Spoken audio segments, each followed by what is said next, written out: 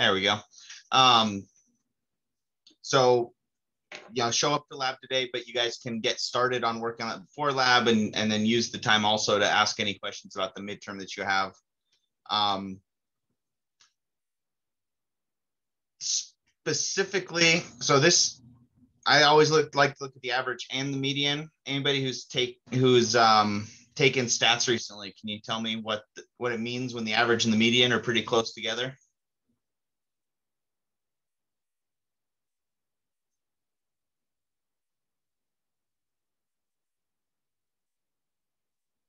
That's technically not a prereq for this class, so it's okay. I'll let you off the hook. Um, so generally speaking, that means it doesn't necessarily mean it's normally distributed, but it means that it's it's not skewed um, to the low end or the high end. It means that it's um, the scores are pretty well distributed. I have as many high scores as I have low scores. Um, it's not necessarily the same as saying it's a bell curve, but it's suggestive of a bell curve, which means that that you guys did about as well as expected on the test. Um, and across the board, you guys did a little bit worse on the mechanisms than I was hoping. Um, there are a couple exceptions there. And if you want to know which section you had, um, what score you got on each section, I have it broken down by page, how many points you got on each page. Um, so you can go through and uh, and see where you missed your points. But for most of you, most of the points that you missed um, were were spread out pretty well, except for the mechanisms. You guys missed a lot of points on mechanisms, um, and that tells me last year that told me when it was closed book that they just needed more practice. But I also gave them easy mechanisms. You guys, I gave uh, mechanisms that had more steps to them, more things to pay attention to. Um, and so the fact that you guys didn't do that well on the mechanism practice told me you guys were running out of time once you got there, or at least you were worried enough about time that you um, weren't able to find the mechanisms in the textbook or apply them. Um, so we will continue to work on that as the nice thing about mechanism practice, if you're taking OCHEM with an eye towards taking a standardized test, getting into PA school or med school, um, things like that, then um, you won't likely need to write out an entire mechanism at any point because that's not really something that lends itself to standardized tests. Um, so being able to at least recognize when something is wrong with the mechanism, that's a really common question to ask um, on a standardized test. Be show you a mechanism and say which step is wrong um, and you have to go through and identify oh well that arrow has is pointing um, from a nucleus towards a negative charge and should be the other way around. Um, so don't be too panicked about that. Um, and the other one that you guys all kind of uniformly sucked at um, was the one that I expected, um, and that's because this is a tricky one and we haven't spent that much time with synthesis yet. Um, and I think a lot of you guys missed this section at the bottom that says using acetylene as your only source of carbon, which means you can't just have a random carbonyl show up.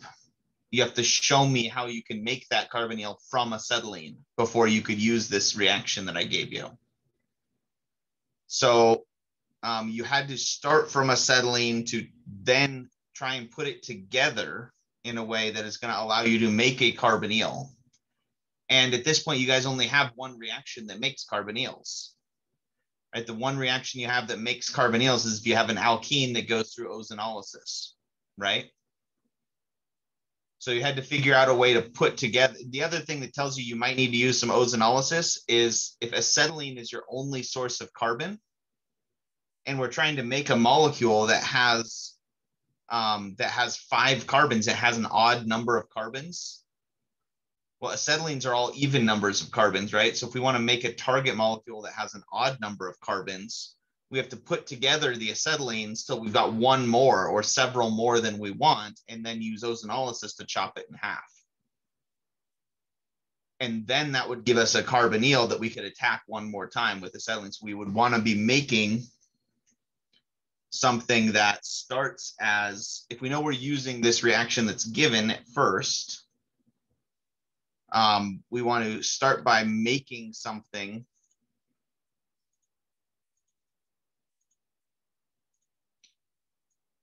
where we could chop it in half to turn it into a three carbon section that has a carbonyl on it. So we could put together acetylenes until we got to um, until we got to six carbons and then chop it in half if we got the pi bond in the right spot. And then we'd wind up with this molecule, which then we could attack with one more acetylene molecule. And that's going to, the acetylene is going to attack here, open up that carbonyl and turn it into an, um, into a, an alcohol. Um, and so that I was looking for something like that. Um, you so you need to would need to be you know planning planning for how can I get both of these things. Um, how can I use both of these tools? I can only use acetylene, which means I'm putting stuff together by using acetylide ions. Um, and then and so the first step actually winds up being turning acetylene into ethyl bromide if you partially hydrogenate acetylene to get eth- ethene and then do a, a um, HBr addition, then you get ethyl bromide, which can then be attacked by a second acetylene. Um, and so as long as you were tr- you had things arranged in a way that you were only using acetylene and you were trying to build that up into something larger, um, you got half of the points, maybe a couple more. Um, and that's about where everybody, everybody was for that one. Any any particular questions before you look at how you did? Anybody know that you have questions on a certain test question besides number four? Yeah, I had a question. Okay. Uh, section two, number seven. With the boro trihydride, I was expecting it to be R2 BH instead of a BH3. Section two, number seven. Is that what you said, Cody? Yeah.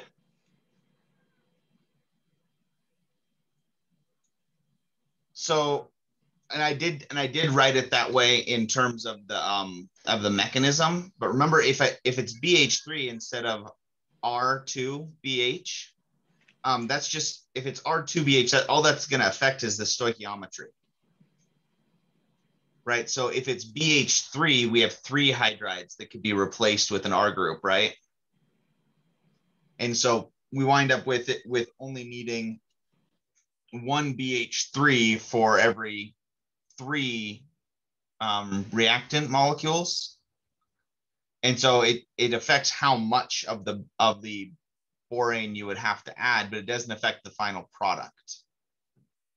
Um, and so when I show it to you as the mechanism, that's just saying you don't have to show this happens three times for the first step because what's going to happen is you there's only one hydrogen left to be replaced.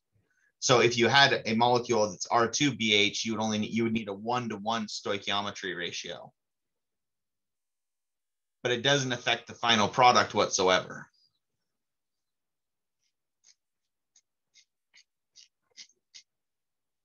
Does that add, answer your question on that one?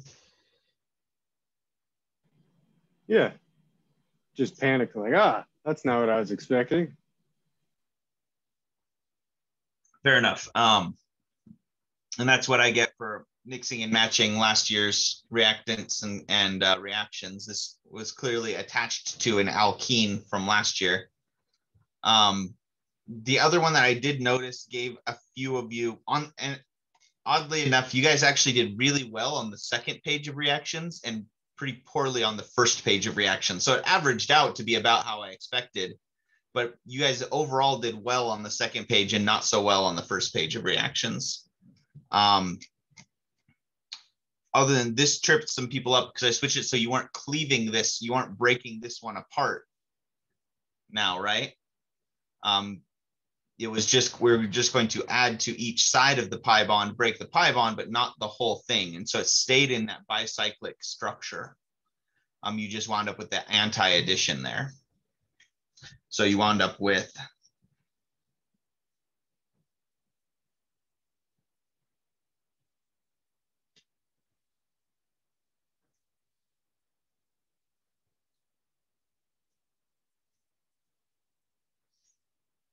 something that looked like that, plus the enantiomer.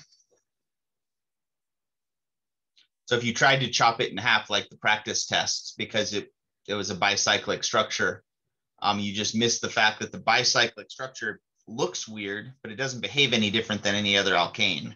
So we, or alkene for that matter. So the only reason we would chop it up is if it went through ozonolysis. That's the only reaction we know at this point that breaks carbon carbon sigma bonds, right?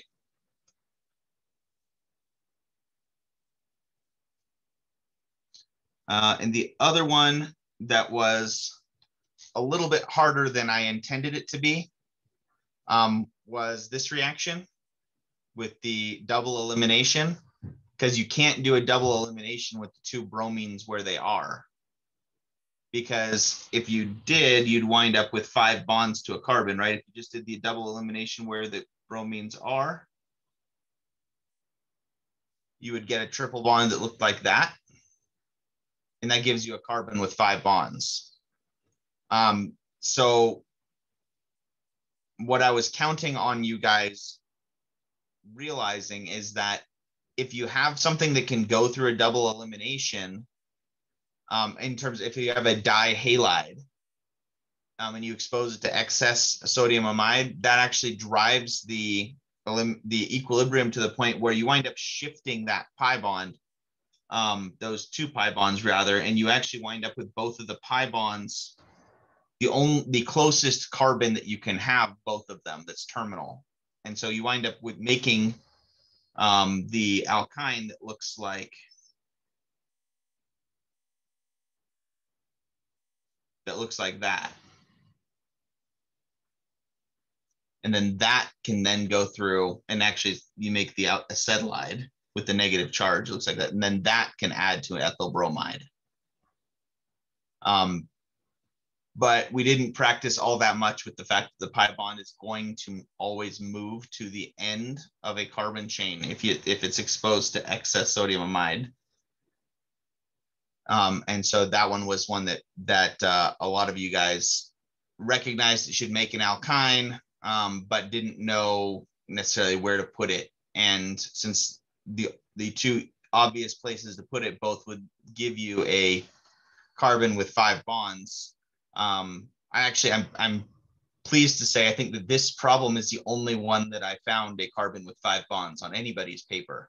Um, and there were more than one of you who did that. So alkynes, you got to pay attention. You can't have two things attached to the same carbon on an alkyne, right? Because you wind up with this situation.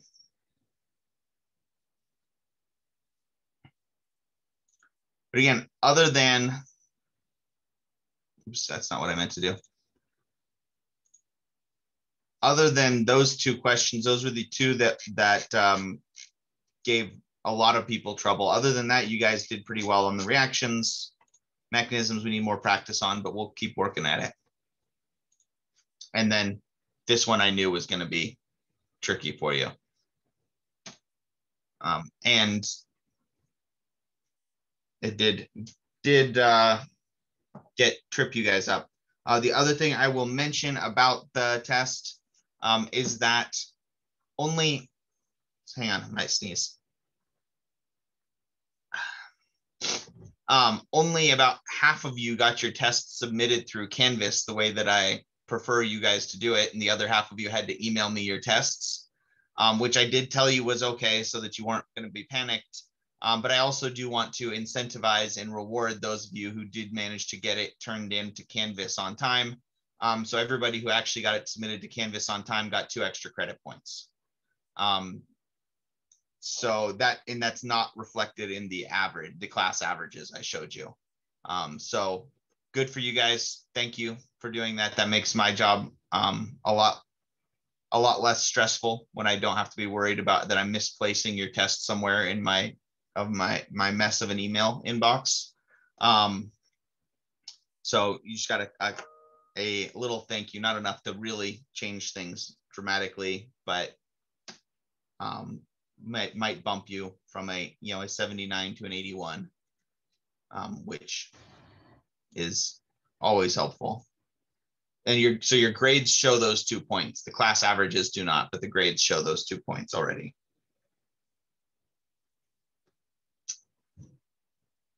All right, let's talk about alcohols. Every college student's favorite subject. Um, so in alcohol, we've discussed a little bit, at least in the context of an alcohol is just an OH group. Um, we're going to talk a little bit about their properties today and talk about um, some some reactions. Um, so cyclopentanol is not that common of a molecule as far as finding it on its own. It's a common piece of biological molecules. Um, ethanol is drinking alcohol, isopropyl alcohol or 2-propanol is rubbing alcohol. So really commonly used these days for disinfecting things. Um, there are really kind of two classes of alcohols. There are aliphatic alcohols, which are what we just call alcohols. Um, and then there's the aromatic alcohols that we refer to as phenols a phenol and you kind of overemphasize the O in phenol to differentiate it between when you have benzene as a branch, which would be phenyl, pronounced like the herb. I guess it's not an herb, the root vegetable. Um, so phenol is when you have an OL indicates you have an OH group. PHEN indicates that you have a benzene ring. So benzene ring as a branch, if we are like methyl, if we had a branch that we were um, that was a benzene ring, we would name it as as phenyl.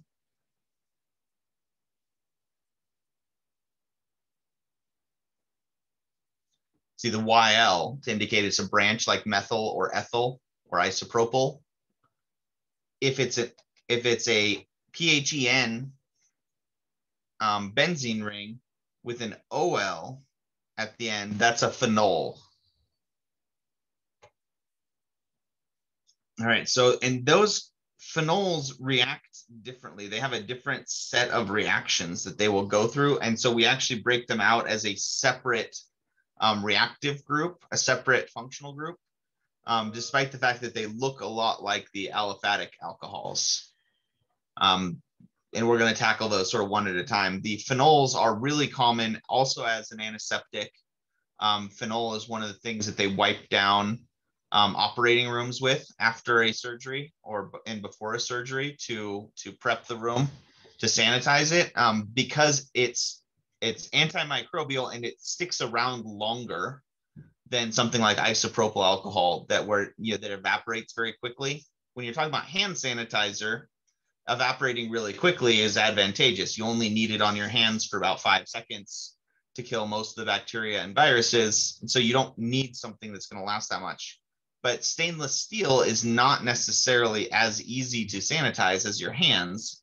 Um, and so if you want it to remain sterilized for longer, you, they use phenol to wipe it down. And that's kind of what gives hospitals that characteristic hospital smell one of the um, one of the main components of the smell of a hospital is phenol.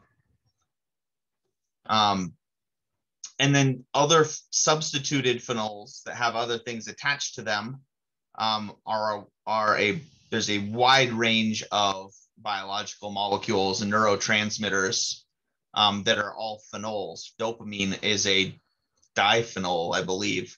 Um, capsaicin we know capsaicin interacts with with your uh, taste taste buds um, thc is a phenol tetrahydrocannabinol. Remember, anything ends in OL, you can be pretty sure is going to be an alcohol. It's got an OH on it somewhere. Um, the aliphatic alcohols don't show up as often except as amino acids. There are a number of amino acids that are aliphatic alcohols. Um, and they do show up as most, or so all carbohydrates have alcohols attached to them. It's not, it's, they've got more aspects that turn them into a carbohydrate, but one of the primary aspects is that you have a bunch of oxygens in the form of OHs that are also attached to the molecule. Um, they have their own their own um, naming convention, so they don't end in OL the same way. But if we looked up glucose,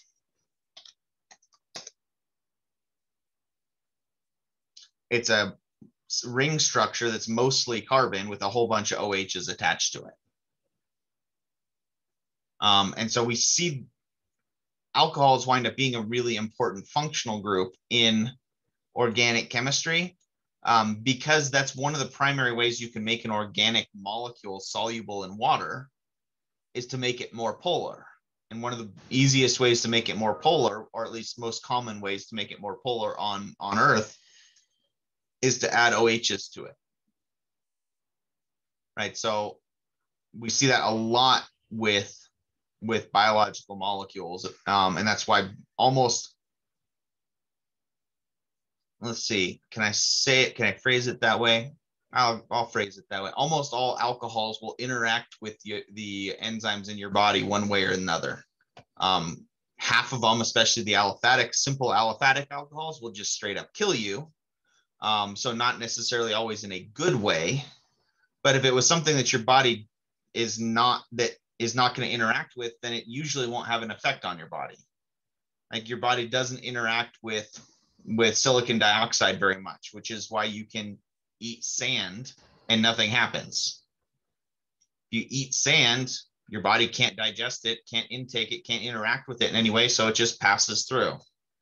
Um, things that your body can interact with are how you get things that act as a poison. Um, also, random um, random book recommendation. I just started a book called The Poisoner's Handbook, um, which is about which is about the history of forensic science, basically, um, and how over at various points in human history, um, different poisons were popular to use to poison people and get away with it. Apparently, up until about the 1870s, um, most poisoners, most most people who murdered somebody by poisoning them um, went free because they had no way of detecting um, a poison in a body. So as long as you did it slowly and it wasn't the only way they had to dis, dis, tell if somebody was poisoned or not was they would take their last meal and feed it to an animal. And if the animal didn't die, then they just said, well, we can't prove that it's that this person was poisoned. Um, so up until they started introducing organic chemistry. So the first thing they figured out how to do was to test for arsenic and sort of the, the elemental poisons, the different um, elements. Um, but so then pretty quickly everybody realized, well, I can't just keep poisoning people with arsenic anymore. Um, so they just moved on to organic poisons like alcohols. Um, so I I have not finished the book yet, but it's it's very entertaining to this point um, and uh, very related to organic chemistry. All right, if we're naming alcohols, naming alcohols is easy. You guys already know how to do nomenclature. Um, the if we're naming an alcohol, it's just like naming any other organic compound. Find your longest continuous carbon chain that has the, that functional group in it, and you name it just like it's an alkane. And then at the end, you drop the E from the alkane and you add OL. So you just turn it into that, that OL suffix. Um, so here's a complicated one. But if you if you're looking for the longest continuous carbon chain that has the OH group, see it's nine carbons long here. So it's going to be, if it we were naming it as a, um, as an alkane, it would be nonane. Non being the prefix for nine. If it's an alcohol, we just drop that E and add the OL in its place. So it becomes nonanol, um, which is a difficult word to say. And then we just, just like with the alkenes, we have to specify where the OH group is because it can be anywhere on that chain. So we just you do it with a number. So if we have nine carbons in our longest continuous carbon chain, the third of which has the OH group, we're going to name it as 3-nonanol. And then we just name all the other branches. Anything we would name is with a prefix, we just name the same way as normal. So in this case, we've got two chloro groups um, and an ethyl group. So 4, 4 dichloro, 6 ethyl, 3 nonanol. I mean, when we're picking which way to count on these, it's it's not as absolutely critical as you have to remember to put the numbers on there. Um, but you want to keep this, the number of the alcohol has to be as low as possible. There are a couple of you guys who on the, the heptyne question numbered counted from the wrong direction, um, which made the numbers lower on your two methyl groups, but it made the number higher on your alkyne whatever we say last in the name, whatever the last thing is that we name, that's the most important functional group. So that's the one we want to make sure we keep as low as possible. And then, but all the rest of these, these steps are the same as, as everything else that we've done. So name your base molecule, find your branches, put everything in order. Um, then worry about stereochemistry if you need to. We're not going to add a new type of stereochemistry at least for this one, right? Because there's no there's no difference in the hybridization of the carbons here. And so it's just if you have a stereo center, we need to name it R versus S. But we're familiar with that at this point, right? So nothing super tricky about naming alcohols. It's just a different suffix.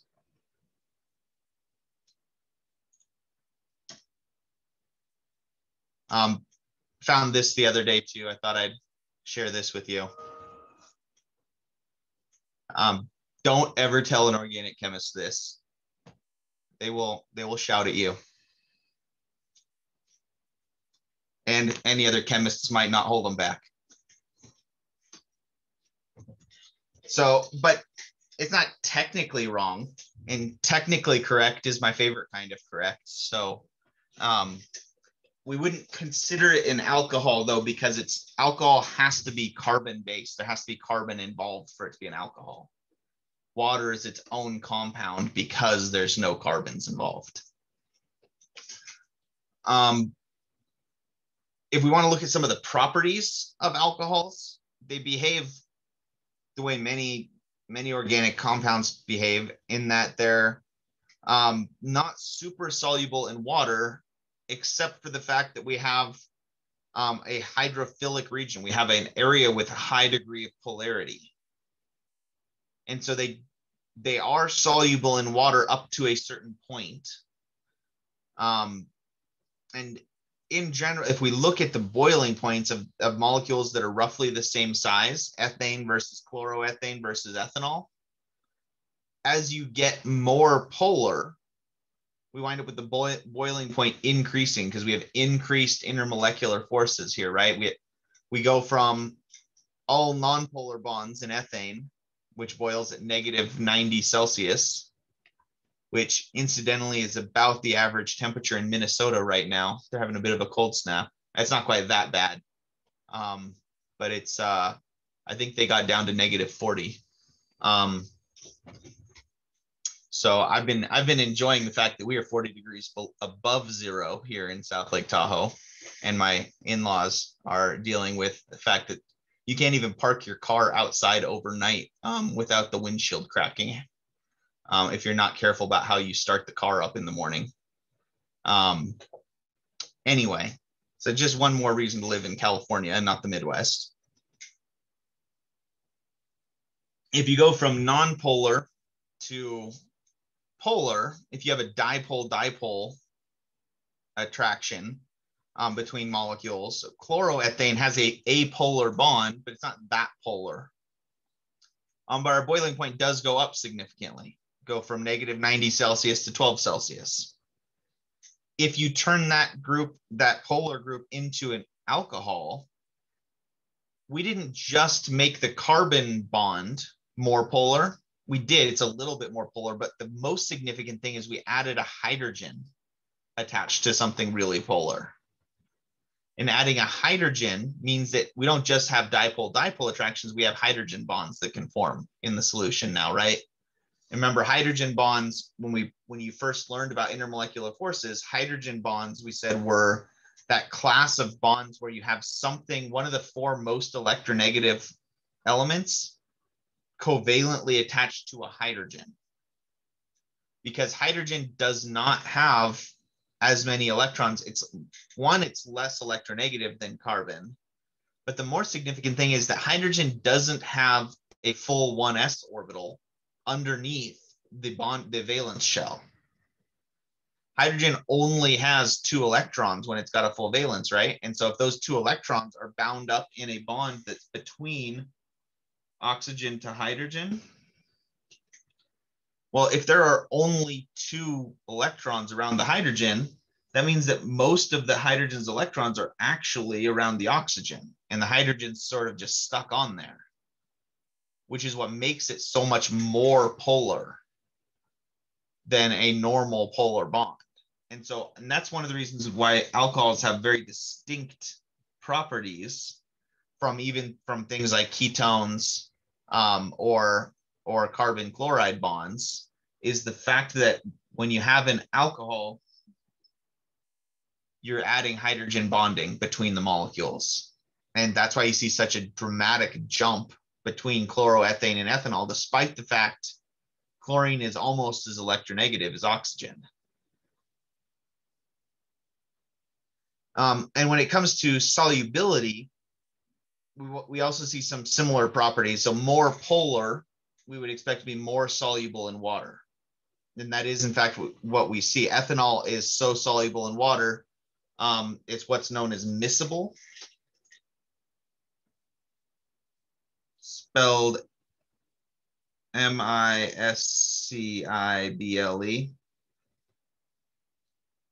I grabbed the highlighter one on accident, but you guys can still read that. Um, miscible means that basically means unlimited solubility.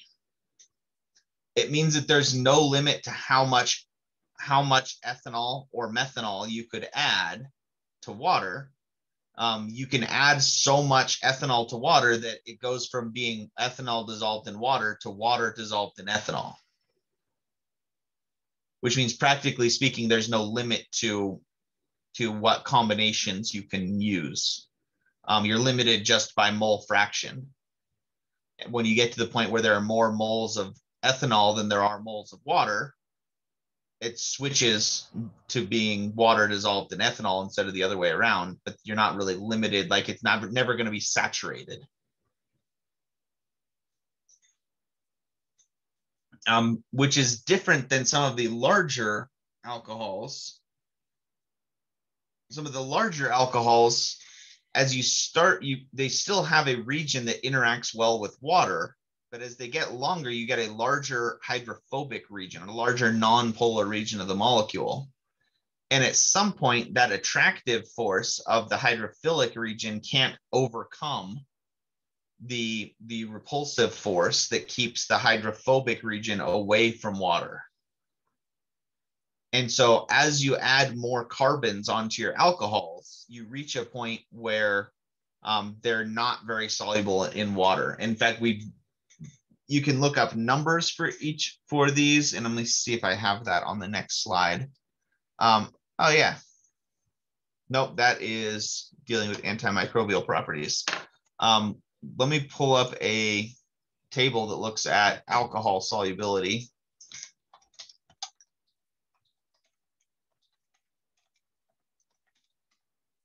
It's a function of chain length.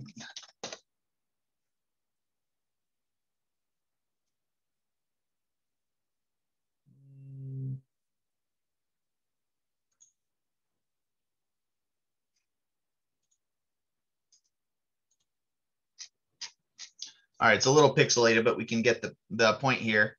Methanol, ethanol, and propanol, they say are infinitely soluble in water, meaning that they're miscible.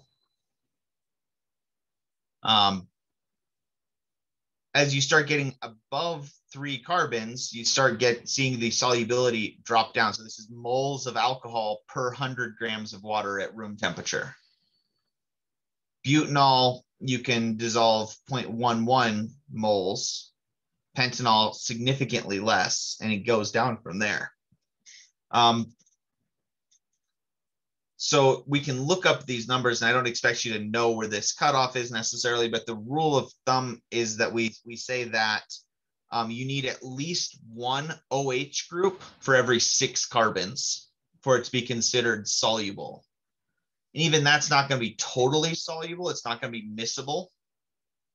Um, but if you have if you have at least one OH group for every five or six carbons, then we can say uh, it'll dissolve in water. It might not dissolve well, but it'll dissolve in water well enough. We can say that a reaction can occur, for instance. Um, and so things like phenol are right at that line. And so phenol has a limited amount of solubility um, when when we talk about that in water. And so that's and if we go back to glucose, glucose has got six carbons, but it also has five OH groups on it. So it's got about one OH group per carbon or close to it, which is why glucose dissolves really well in water. Despite the fact it's got six carbons, it's got a lot of OHs as well.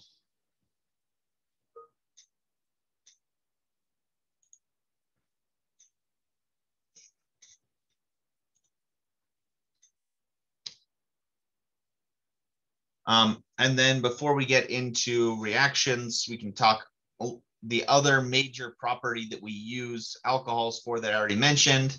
Um, even more important this year than most is antimicrobial properties, including antiviral properties. Um, we find that most alcohols, especially primary alcohols and, and simple phenols, um, have antimicrobial properties and also antiviral properties. Um, they have those, they basically wind up denaturing proteins by changing the solubility. Most proteins of living cells and most proteins for viruses that are capable of infecting humans are designed so that the exterior means that they're somewhat soluble in water. They're if it's a bacteria, bacteria evolved to be in a water based environment and you put them into an alcohol heavy environment instead of a water heavy environment and you wind up with a lot of those proteins wind up basically unfolding or folding themselves inside out. And so you wind up denaturing the, the proteins uh, and that's why alcohols are good not just at denaturing and killing bacteria, they're also good at denaturing viral proteins um, because we're basically we're changing the solvent. If you change the solvent, you change how the proteins on the surface of these things interact with the solvent, um, which usually means that they fall apart. Um, or at the very least, they become inert and unable to infect new cells. Um, so a lot of alcohols have some of those properties. Um, the phenols, the larger molecules, um, are not as good at, at getting rid of viruses um, because they're usually not present in high enough amounts that you wind up with them being able to actively denature the viral proteins. They will still they will still kill bacteria and other microbes, but they're not as effective at killing at uh, denaturing viruses. Um, and if you look at um, hop oil, um, if you look at uh, a lot of the, um, if you are into craft beer at all, you may have heard at some point the whole story about how IPAs started was why they're called India Pale Ales is because it was the, the British, when they colonized India, still wanted to be able to drink beer from Europe in the European style. Um, and but they couldn't ship normal pale ale. They could, which was at the time would have been, you know, Bass probably. Um, they couldn't ship that overseas um, because it went bad too fast. Things would start growing in it, and that it would show up to India as a sour, um, which was not like the cool trendy thing to have in your beer at that time. Um, so what they did instead is they just made it super concentrated. They made it so that, and one that saved them on shipping because they had to ship fewer barrels, and plus it made it less hospitable to bacteria that would then infect the beer. Um, and so that's and the hop oils played a big role in that. The higher alcohol content and the hop oil played a big role in that because hop oils have a lot of these phenols in them um, that make them inhospitable to to bacteria. Um, and then what happened is the original idea is that once the once the IPA got to India, that they would then um, dilute it with water and have normal pale ale. But then um, they when it got there, they actually just decided that they liked drinking it better the way it was rather than than putting um, you know they probably did not have access to super fresh water and so rather than put dirty water into your beer um, just to make it less potent. They just drank it strong. Um, and I believe actually one more, this is a more specific example. It's not microbial in general, um, but quinine is another antimicrobial um, alcohol let's take a gamble on whether or not it actually was an alcohol or not, um, since it didn't end in OL. Um, but, and again, also comes from the British colonizing India and other parts of the world that had lots of mosquitoes and therefore malaria. Um, they started drinking gin and tonics because tonic had quinine in it, which was an anti-malarial. Um, and so if you drank um, lots of tonic water, then you would be less likely to get malaria if you are a British colonizer in um, tropical areas like India or Africa or South America. Um, and then being being British, they decided that adding gin improved the flavor. Um, so they that's where a gin and tonic was born. And the lime came from trying to stave off scurvy because lime, lots of citrus has vitamin C in it, which slows and lots of B vitamins, which slows down scurvy as well. So the gin and tonic also is born as a result of the um, the age of sail, the colonization period of the British Empire. Um, let's see. Here are a couple other resorcinol. I'm trying to think of what resorcinol is in. I'll have to look that up while you guys are um, on your break. These are two common um, antimicrobials that they use for. Um, I believe they use both of these also in. I think phenol, I think resorcinol is less carcinogenic than phenol. So I think they've moved towards using resorcinol in operating rooms to sanitize um, over phenol because it's it uh, is less less of a hazard to people that work there all the time. All right, that's a good it's a good place to take a break. Let's come back at uh, two after, and we will keep talking about alcohol some more.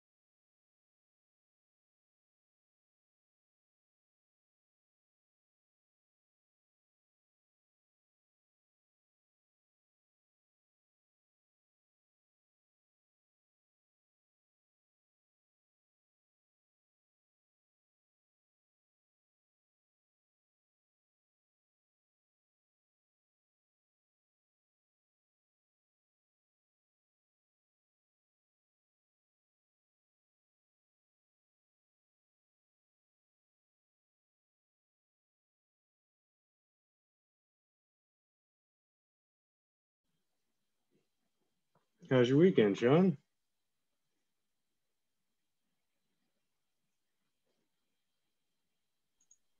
Uh, it was pretty good. It was I never never long enough, but um, and a little gloomy. But other than that, it was it was good. Got a lot done. How about you? That was nice, man. Went on a bit of a, a old school horror movie kick and made me appreciate modern movies. I saw one it's Attack of the Triffids or something. It was about plants that get up and start walking around in London. It was pretty cheesy, man. Yeah, you do run into that. Although you get that in modern movies too. Um, not they're doing a better job of it these days, but uh, even as recently as the 2000s, um, you know, you had movies like The Core, where the the inside of the Earth just drops to ambient room temperature or something like that and freezes up and causes all sorts of random things to happen like the earth's magnetic field disappears and I, they have to drill to the center of the earth and detonate a nuke inside the earth or something like that. It's, it was like armageddon except on earth. Um yeah so you still had those bad ones and that was a major motion picture release. That was not like a b movie although you know in retrospect, history will look at it that way. But it was released in movie theaters. Oh, so man. it uh, you know things haven't changed that much. Good movies then were still are still good movies, and bad movies now are still bad movies. Very true. Made a couple big lasagnas. That was pretty good, except I screwed them up. Added a little bit of those red chili flakes that you throw on pizza and made it way too spicy. I, those I like adding those to my to uh, a red red pasta sauce, but you got to add them in early on so they cook down a bit. If you add them at the end, that's uh, that's gets you. Yeah, it was like a four pound batch of meat and sauce and stuff, and I threw in like one tablespoon. It was like, whoa, that is way too spicy. Oh yeah, so I we have to be careful with ours. We get them from from um my brother-in-law's father-in-law um, and and uh, my wife bonded over um, growing things and woodworking, and he and I bonded over woodworking. So we get uh, our Christmas package for them every year is um, uh, homegrown red chili flakes. Oh, cool! Um, that he makes and dries himself, or grows and dries himself, and uh, and so I had like five flakes. It's like like a tiny pinch of salt is what I add to a whole batch of of red sauce. Oh um, man, so a tablespoon, I can imagine that was a little bit much. Screwed it up.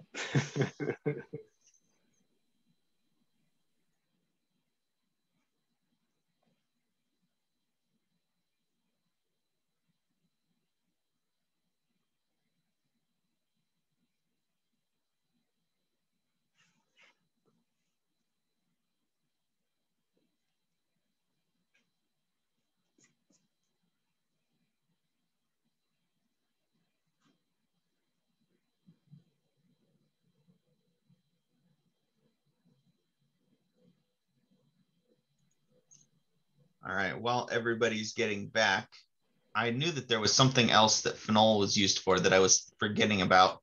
Um, phenol is also a topical anesthetic um, that is really commonly used in um, throat sprays. So that uh, I can't remember what it's called. It's Cepacol. What that stuff is that when you have a sore throat, you spray it in your throat and it like makes you gag instantly, but then your throat feels better for 15 minutes. Um, the what what both makes you gag and um, numbs your throat is phenol. If you look at the active ingredient on those, it's just a topical anesthetic. Um, that's not nearly as effective as some topical anesthetics, so they can use it and spray directly onto a mucous membrane. If you use something um, like Novocaine in that in that uh, instance would be way too potent and short-lived. It would not last very long. But phenol being less um, less effective as a as an anesthetic um, means that it's and it's also less soluble in water, so it sticks around longer on your throat. and makes you feel better for a longer period of time. Um, if you, I'm actually kind of curious what it would be like now to to spray Novocaine because you get that that deadened feeling very very quickly and then not be able to swallow because you couldn't feel your throat and then it would go away in like you know three minutes or something like that. Um, resorcinol also gets used actually, especially hexyl resorcinol um, gets used in uh, this this little blurb was interesting. They add hex, hexyl resorcinol to extend the shelf life of shrimp um, by presenting the or by preventing the uh, formation of black spots on the shrimp that that they get that shrimp get when they sit in the fridge for too long. Um, they can still be okay to eat, but look really nasty. Um, and so they use sometimes they use hexyl resorcinol for that. Um, they also use um, it is also a local anesthetic. Um, and so, but you see it in throat lozenges instead of being a spray. Um, so we do we see these these phenols in a lot of places. Resorcinol is not does not occur that naturally um, but it is it is like I said, it's where they're they're moving towards as far as make um, using it to um, uh, sanitize. It's got a higher solubility in water than phenol does, so you can make a resorcinol um, solution and use it to wipe things down um, in a way that uh, that phenol would be a lot harder. You would actually actually use the the free phenol or put it into a non-polar solvent like hexane before you could use it as a um, use it effectively as a way of wiping things down.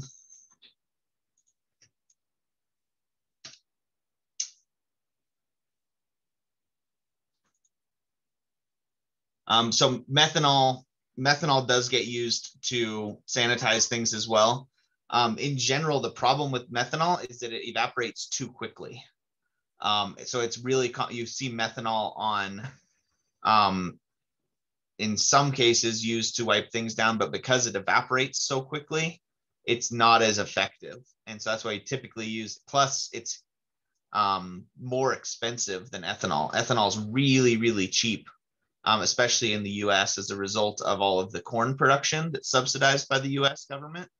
Um, so alcohol, drinking alcohol is actually way cheaper than methanol, despite being a larger molecule, um, because the because ethanol is just everywhere. In fact, they have to. Um, if you want to know just how cheap ethanol, straight ethanol is, um, look at the price of denatured alcohol at the hardware store. Denatured alcohol is ethanol that they add poison to so that you can't drink it. Um, and it's like two dollars a gallon. Um, and so the only reason that alcohol is like it's basically Everclear. The only reason Everclear is so much more expensive is because the government taxes it differently. Um, it's not because the cost of production is that much higher. Um, so, and that's that's why um, most hand sanitizers use ethanol or isopropyl alcohol because they're so cheap and they they can be made really really efficiently um, you only start when you have more specialized needs like a hospital that's when you get into using resorcinol and phenol as your as your anesthetic or antiseptic all right um as long as we're talking about those oh groups um, we should also talk about the fact that you can deprotonate an alcohol. Um, and we've used the deprotonated form of the alcohol um, on, a lot of our reactions, right? We use it as a strong base to uh, promote elimination reactions, um, to act as a nucleophile, um, and they're fairly stable in their deprotonated form. They're stable enough that we can isolate them as an ionic compound, which is how you get sodium ethoxide and sodium methoxide um, as reagents that we can use that we can add as a solid um, and we can look at them if we if we want to know how acidic a specific proton is um, there's and this is another really common class of standardized test questions for, for organic chemistry is um, on X molecule, which is the most acidic proton? Um, because that's a really easy way to write a multiple choice question, right? Is it is it proton A? Is it proton B? Is it proton C? Um, and in general, the way to evaluate that is by looking at how stable the molecule will be once you remove the proton. We don't typically look at just at the reactive group because all of the functional groups are going to be relatively stable. They're all neutral. They all have full valences. So to evaluate how good of an acid something is, we look at how stable the conjugate base will be. And if we look at these, if we just look at uh, the first row of the periodic or the second row of the periodic table, if you take a hydrogen away from a carbon, you get something that's pretty unstable. But as you as the uh, conjugate base gets more electronegative, you wind up with it being more and more stable. Uh, right, right, because the you wind up with the more electronegative something is, the more stable it is having a negative charge. So alcohols are more are a better acid than than um, alkanes or amines, which is why sodium amide is a very strong base. We could use that to be to promote um, better yields in elimination reactions, like with making formation of alkynes, because it's a much stronger base. This is a much stronger base than just a deprotonated alcohol. And a deprotonated alcohol is a much stronger base than just an, a halide, like fluorine, like fluoride or chloride or bromide. Um, and so the more stable we can make this, the more acidic we can make things. And we can then turn around and apply that to how acidic the protonated form is. Um, in order to deprotonate an alkane, you have to get a pK, you have to get up to a pH of almost 45, um, which we can't do that in water, right? That's, that's not possible um, to get to a pH that high in water. About the, the limit for in, if we were doing this in water is, is around the pK of water itself, which is about 15. Excuse me. Um, we can do this in a non-polar solvent. If we pick our non-polar solvent well and we put it in, with a very, very strong base, we can deprotonate this, but it's really, really unstable and really, really nasty stuff.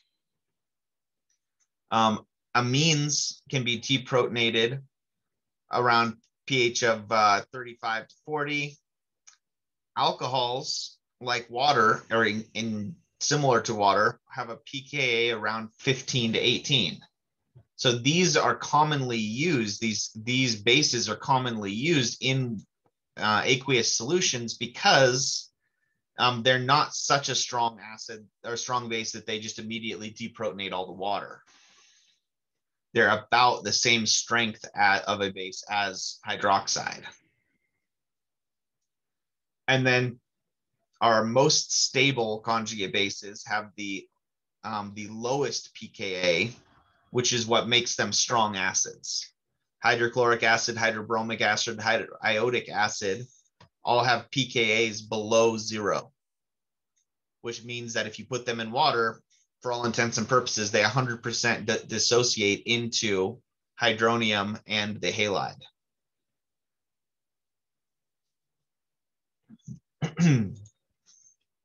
um, what's one other thing that could that could affect these pKa numbers? What else might affect the stability of these conjugate bases?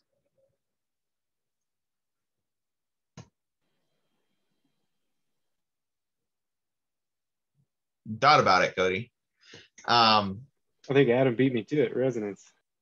Oh, there it is. Thank you. Yeah, resonance.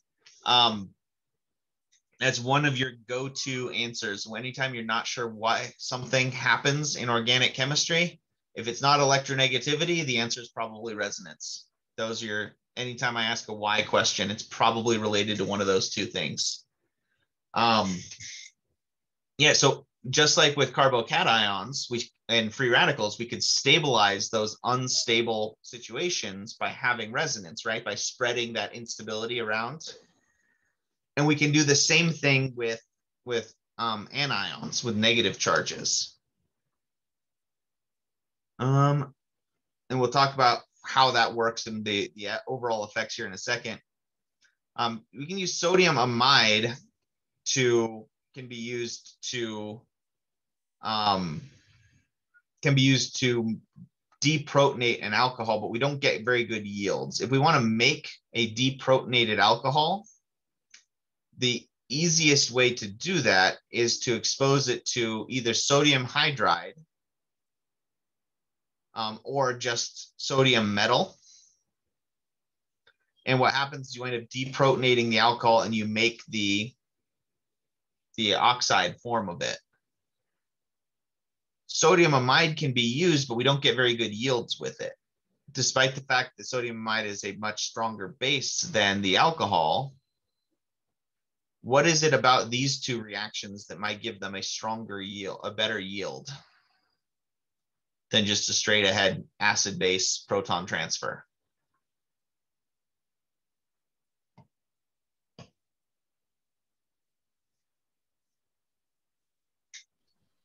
Something the ionic salt, maybe. The ionic salt. That's a good a good thing to look at, except that sodium amide would also give us an ionic salt, right? We'd wind up making sodium ethoxide if we put this with ethanol. But the difference is, is that we're in a different class of reaction if we do that. Think back to when I first taught you guys in Gen Chem about different types of reactions. We said, well, there are there are really redox reactions and everything else right? And everything else included precipitation reactions, acid base reactions, anything where the redox state wasn't changing. And those were all reversible, pretty easily reversible as far as chemical reactions go. But if you have a redox, um, the oxidation state changing, if you have a redox reaction happening, those are more irreversible, generally speaking. When you move electrons, you're going to move electrons to the more stable state, right? and moving electrons away from a stable state to a less stable state is pretty hard to do.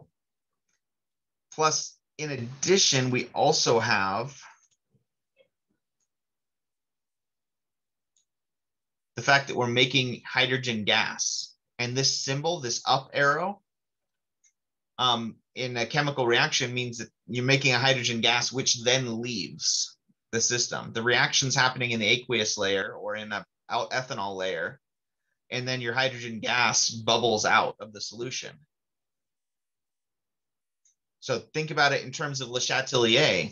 If we're removing, if it's an equilibrium reaction, but we're removing one of the products as it reacts, that's going to drive our, our equilibrium towards the product side, right? and so anytime we can we get are going to get really good yields anytime we we have a situation where one of our products can leave the system. Um, and if you ever see it written as a downward arrow, that means that you're forming a solid that's not soluble. And if you form a solid, the same thing happens, right? It falls out of the solution, which means it's not part of the equilibrium anymore. Because think about your equilibrium expressions, right? First rule of equilibrium, first and second rule of equilibrium was products over reactants the sec the third rule of equilibrium was solids and liquids don't count, right? Solids, liquids, and gases, really, because they're not still dissolved in the same system. So we get much better yields when we have something where we can remove one of the products because that drives equilibrium further towards the product side.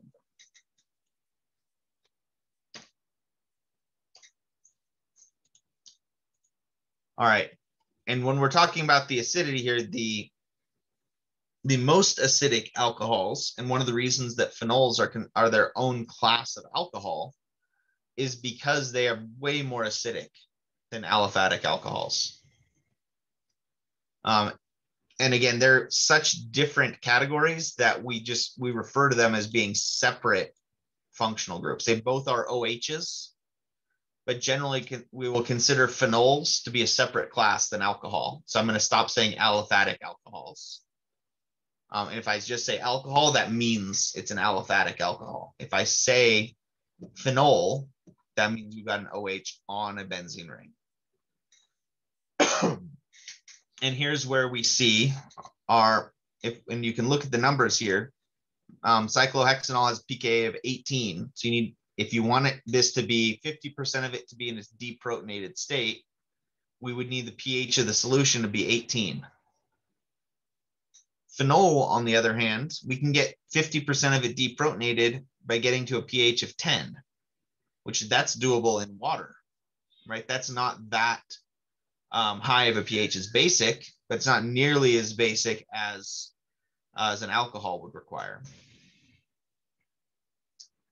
So the main the main reason, the most important reason we see this is that resonance stabilization. If you deprotonate an alcohol, you get a negative charge. And, a charge next that's conjugated with a benzene ring has a lot of different resonance structures you can make. And each of these resonance, the more resonance structures we have, the more stable we can make this. Um, and so that winds up being the most significant one. You'll notice though that the the arrows are going the opposite direction in these resonance structures compared to if we had resonance stabilization of a carbocation or a free radical, we would have the, the arrows going the opposite direction, right? Because the arrows are always showing where the electrons move. And if you have a negative charge, you have extra electrons. You already have a full valence. So you can't have, um, you're never going to draw an arrow towards the negative charge because mechanisms and resonance structures, you're showing the movement of the electrons and the extra electrons are going to move away from the negative charge. So it's all the same logic as drawing resonance structures for a carbocation, but the, the arrows are reversed. They're just pointing the opposite direction.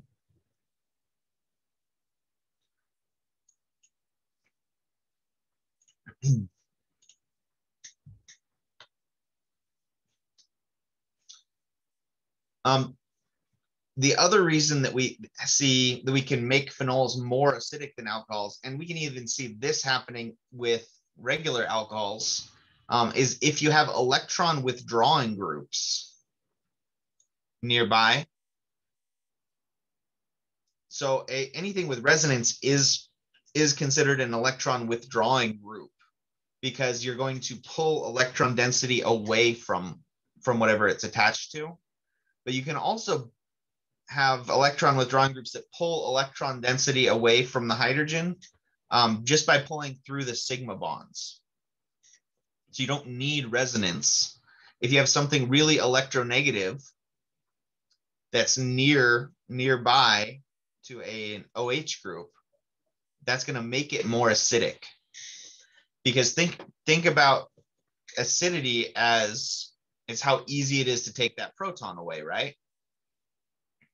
If it's really if there's a lot of electron density next to that proton, it's going to be really hard to pull it away. There's a lot of attractive forces between the positive charge of the proton and the negative charge of the electrons. So if you can pull electron density away from the from the proton, that makes it easier to remove the proton. Effectively, it's making a magnet that's not as strong. You don't have as much attractive force between the nucleus and the electrons. But if you pull, if you have fewer electrons around. Um, uh, I'm sorry, Elke, I just saw you're in Ricola. Um, I don't think they put methanol in Ricola. Um, they might, but it'd be they, but it'd be unlikely because methanol is pretty pretty bad for you at fairly low concentrations. So I don't know what they use. They use the resorcinol. I, um, I think they use methanol. I think they might, they might use it in the production process. So there might be some some residual amount, but F, but methanol is pretty nasty for you. It might be methyl something else. No, oh, you know what? It's menthol. Sorry. Menthol. Yes, there you go. Menthol. So menthol is an alcohol because it ends in OL. Um, Mhm. and it has some microbial antimicrobial properties and anesthetic properties, um, but not as strong as uh, resorcinol, um, which is why it's not regulated the same way and why you know it's in mint and in a lot of stuff like that naturally. Um, Okay, so it is, but it is an alcohol. So what what's the deal with like the those menthol rubs? You know, like the lotions people put on. Um, they will. Sometimes they will. Um, it's it's mostly snake oil. Like it, it it does have a placebo effect that helps, um, to some extent, um, but it is not nearly as as effective as a um, local anesthetic as as phenol is, um, which is also why it's not not regulated the same way Mhm. you know, res- I don't even know if they have to li- list it as a um, active ingredient in things um, because of its of where it where it sits. I'd have to look into that a little bit more as well because it does say that there's some some amounts of menthol that uh, can act as an opioid agonist, which is interesting to me because I would not have expected that. So Mhm. I'll look at I'll look at menthol menthol later. Okay. um back to where we were here um so induction just means you have electron withdrawing groups things that are really electronegative that are pulling on electron density. If you're pulling electron density away from an alcohol that's going to make it easier to deprotonate.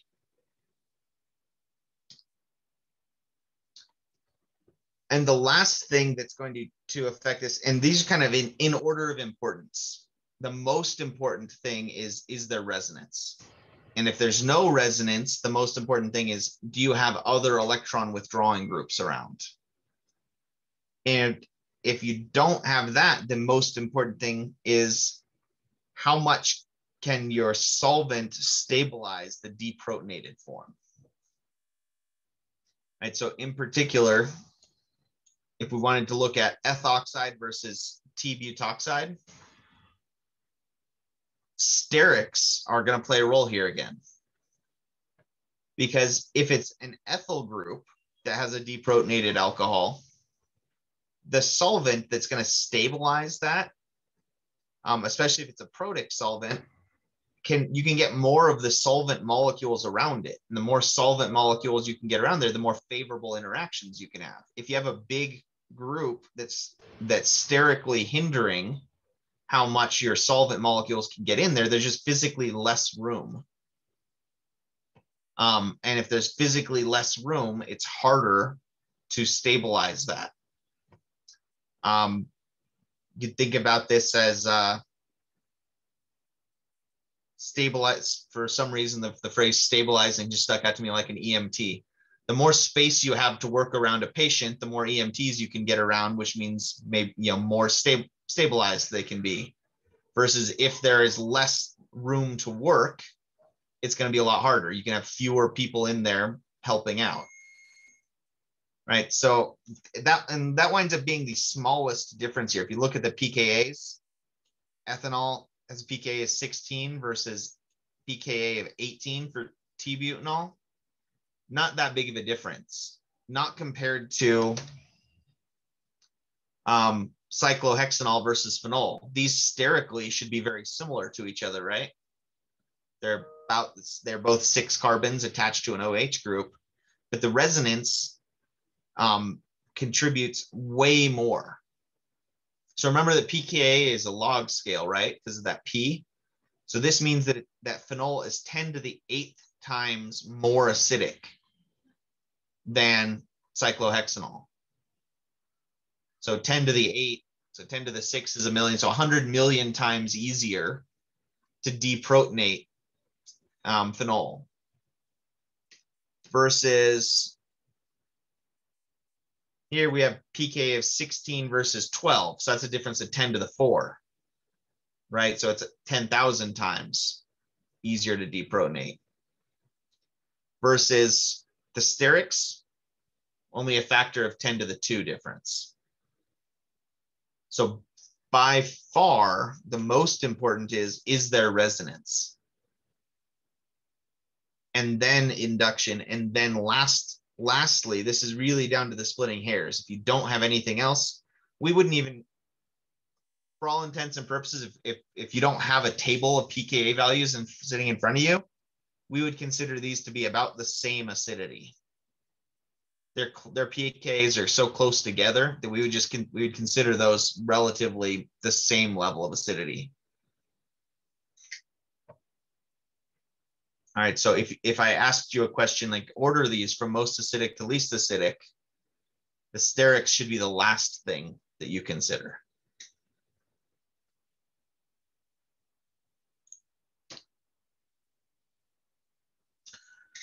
All right, so let's practice some deprotonation. Let's do some practice steps here.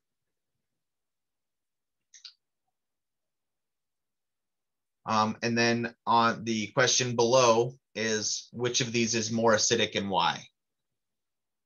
So draw the deprotonated form for 12.4 and then fix figure out which one's more acidic for each of these pairs for 12.5. I'm going to mute and give you guys a few minutes to try that, and then we'll work through that.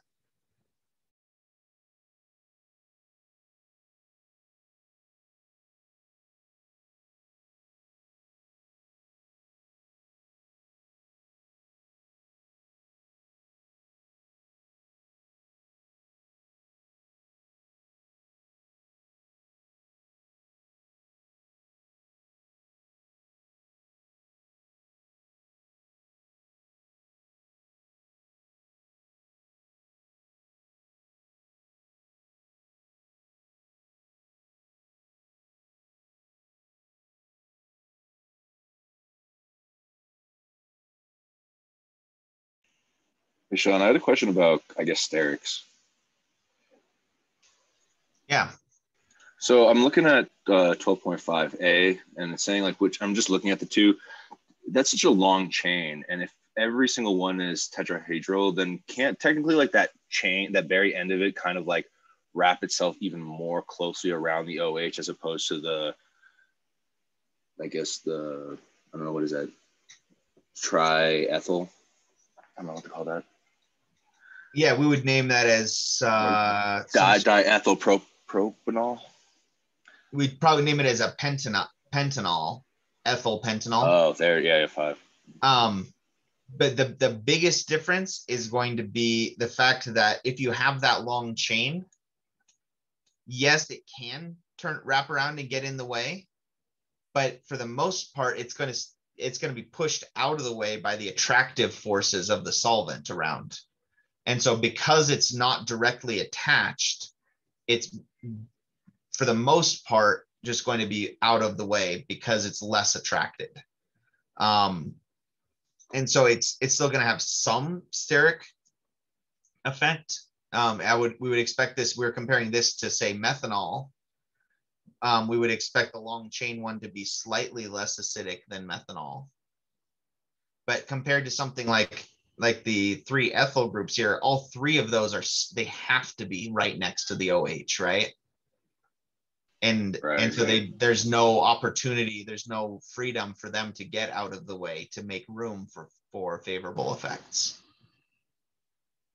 Does that make sense? Yeah, kind of statistics wise, I guess. Yeah, and just just the amount of freedom that you have.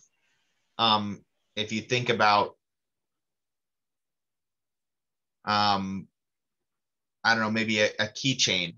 If you've got a keychain where you've got a whole bunch of stuff directly on your keychain that's all right next to the key you're trying to use, it's going to be a lot harder than if you have a keychain on one of those, um, you know, on one of those uh, lines where it's just one key on there. You can move the rest of your keys out of the way a lot easier.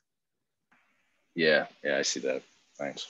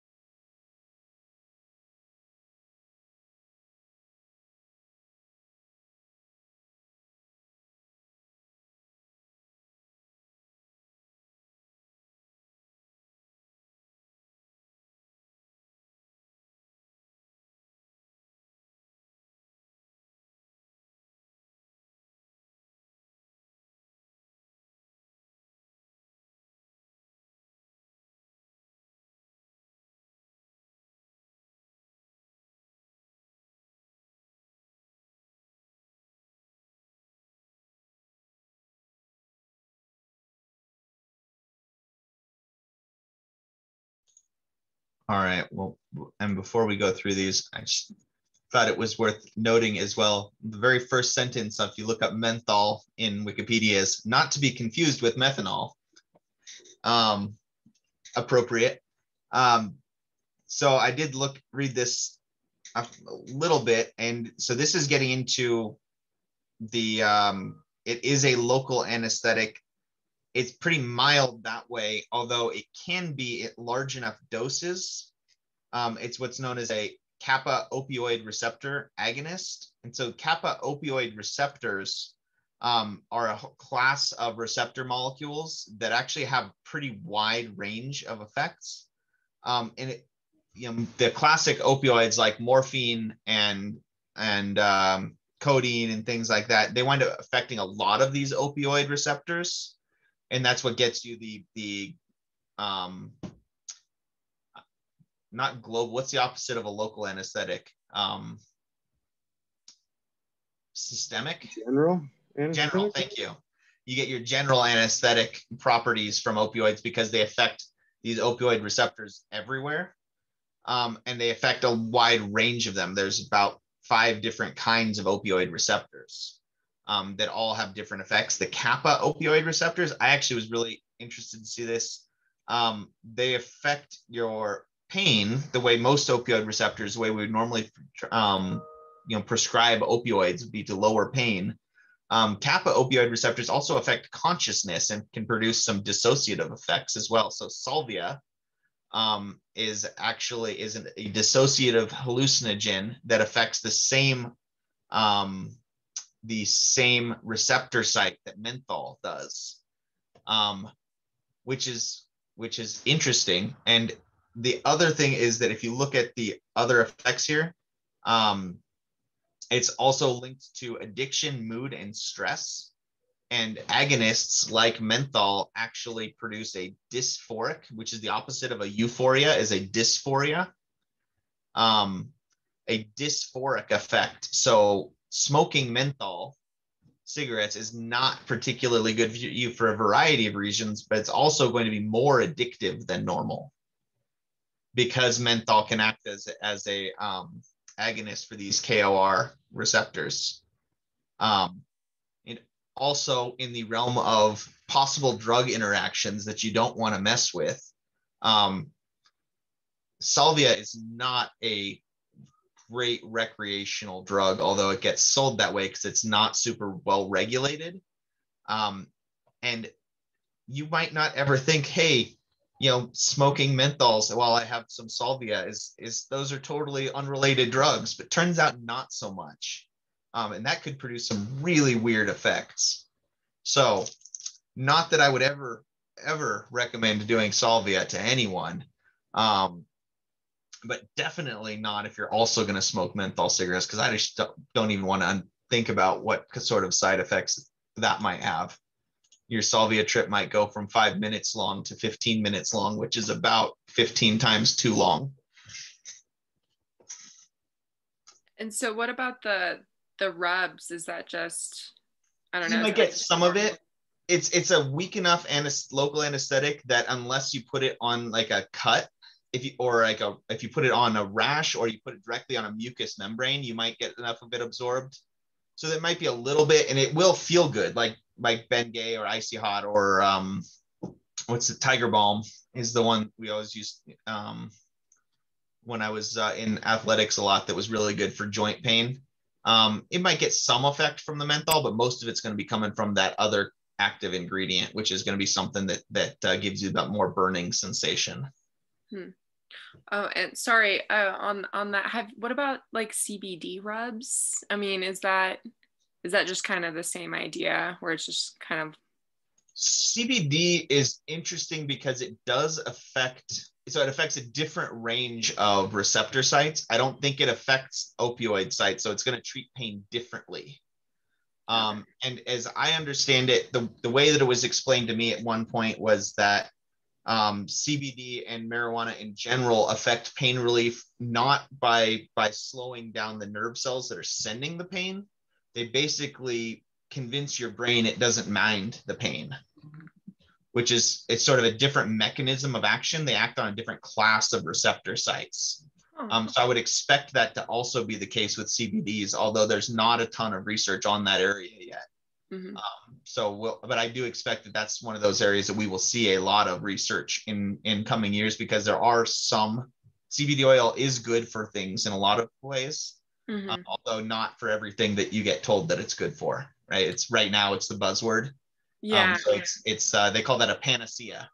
A Yeah, panacea means that it gets prescribed as the cure for everything.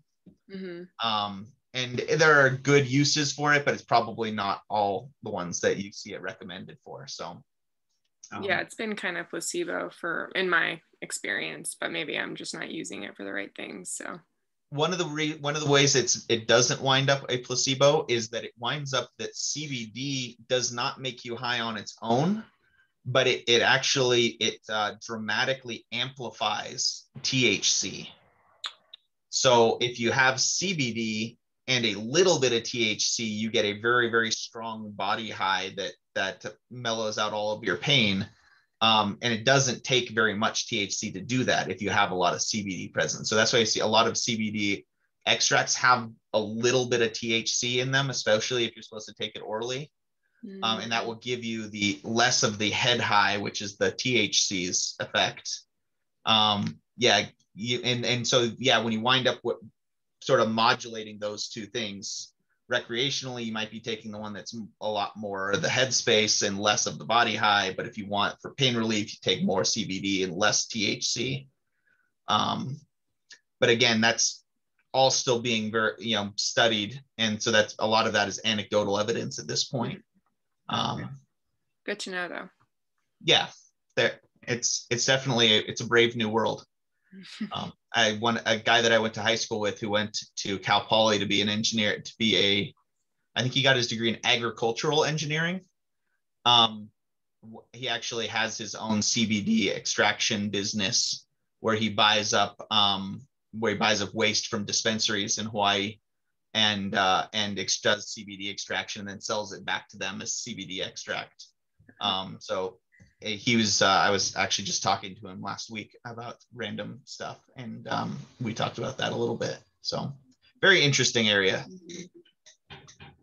All right, let's go through these before we run out of time here. Um, let's so if we wanted to look at the deprotonated form of these, the deprotonated form, of the alcohol, for all of these, the alcohol is going to be the easiest thing to to deprotonate, right?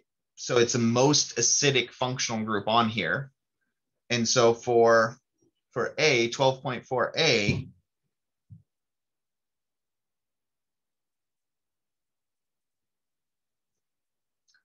we just wind up with the oxygen with a negative charge. Right, and that's gonna be the same for all of these. The deprotonated form is just gonna be oxygen with a negative charge.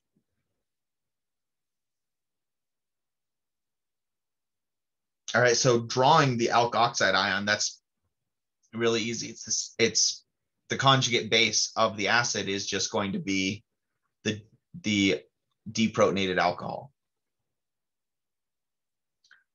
Um, so for 12.5, well, we already talked a little bit about A. We'll come back to it in a second because that's our least important. If I was answering this question on a test in a test situation, I would answer the really obvious ones first, where you've got resonance versus no resonance. Boom, that's really easy. Resonance means more acidic because the charged state is going to be more stabilized if you have resonance. Um, C, they both have resonance. So we're going to have to look and say, well, is that going to give us additional, an additional resonance structure? Um, if we if we have that, and so we'll look at drawing those in a second. Let's look at B first. We have phenol versus pentachlorophenol. The pentachlorophenol, you've got a bunch of extra electron withdrawing groups attached. If you have extra electron withdrawing groups, um, that means that it's going to be easier to remove that hydrogen because the electron withdrawing groups that are pulling the electron density towards the ring structure means you're pulling electron density away from that oxygen and therefore also away from the, the hydrogen, which means it's not as attracted to the oxygen. So that one would be more acidic. Um, A, we talked about more sterics that are directly attached or that are close to the alcohol group means um, that there's less stabilization that can happen. And so we would expect the primary alcohol to be more um, more acidic than the tertiary alcohol.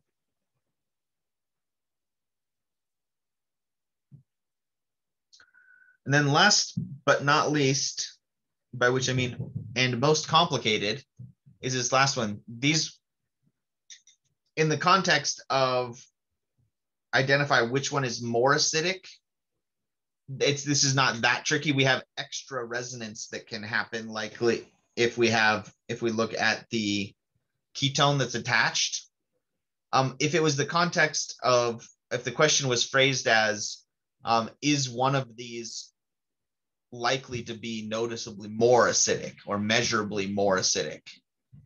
Uh, these two are a little tricky. We might not be able to directly tell is one of them going to be more acidic than the other because in order for it to be more acidic we have to be able to resonate that negative charge all the way out to that other part of the molecule and what i mean by that is um, when we go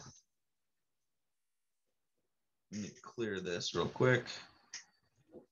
If we look at the resonance structures that we get from, from having a negative charge here, if you have a negative charge in the benzylic position, you, you can resonate that negative charge to three of the six carbons.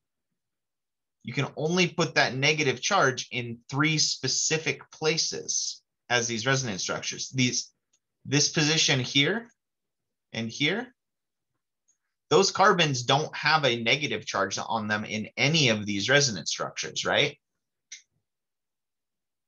And so putting something, and this is what's called the meta position.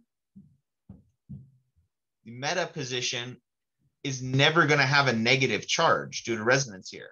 And so we just abbreviate that with M. The negative charge only goes to the para, uh, I'm going to mix this up. Ortho is directly adjacent, and para is the opposite side of the of the benzene ring. And so putting, if we look at this question, this ketone is attached to the para position. If it was attached to the meta position, we wouldn't be able to resonate the charge very well but because it's in the para position, we can.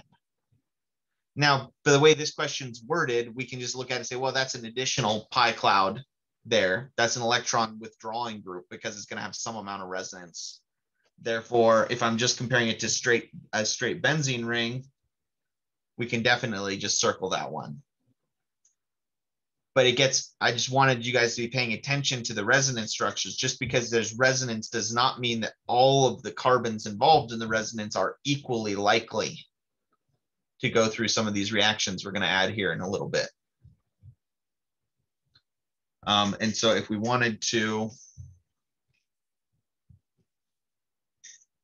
draw the resonance structure here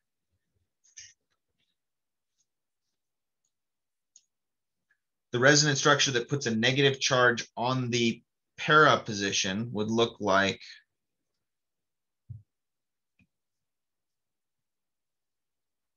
So we have deprotonated oxygen. It would look like that would be the resonance structure. And if we have this ketone attached there, that gives us one more spot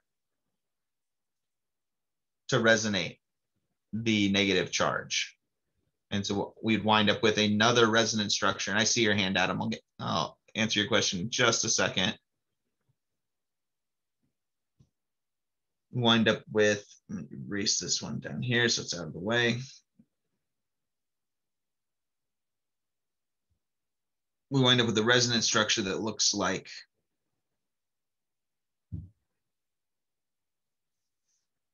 that. So because it's in the para position, we do have resonance that can get that negative charge all the way out there. And that gives us an additional resonance structure. Additional resonance structure means it's more acidic. Adam.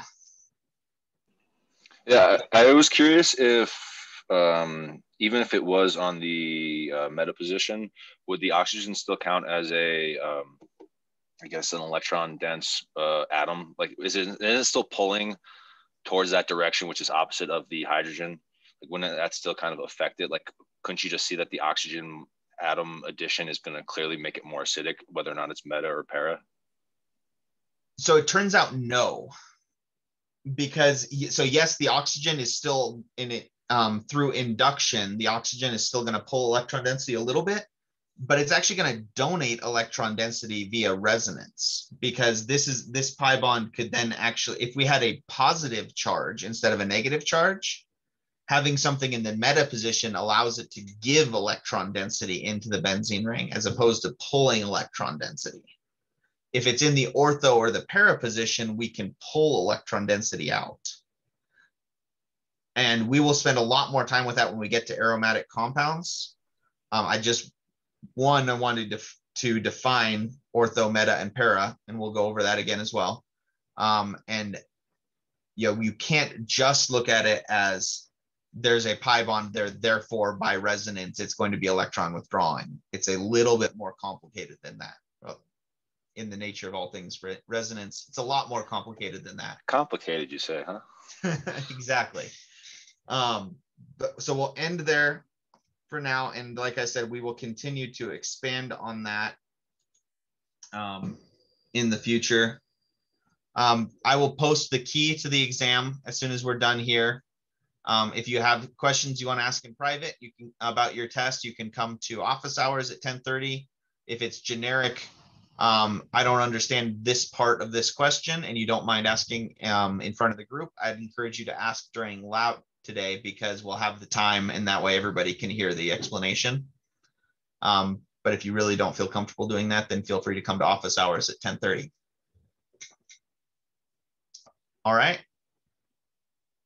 We'll end it there and uh, I will see you guys at one.